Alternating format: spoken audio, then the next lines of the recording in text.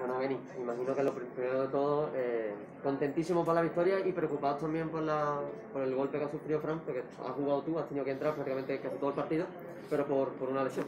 Sí, en lo personal estoy muy contento y en general también. El equipo necesitaba esta victoria.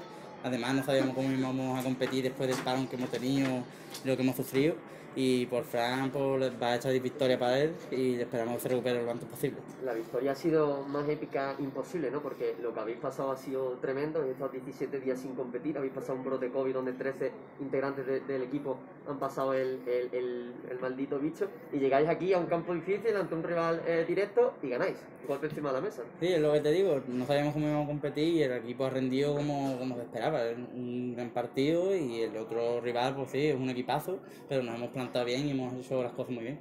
¿Qué tal te has visto, Benny? Porque, como he dicho al principio, has tenido que jugar prácticamente todo, todo el partido de que en la primera parte y en la segunda acción Lucena ha apretado de lo lindo y había aguantado en defensa bastante bien.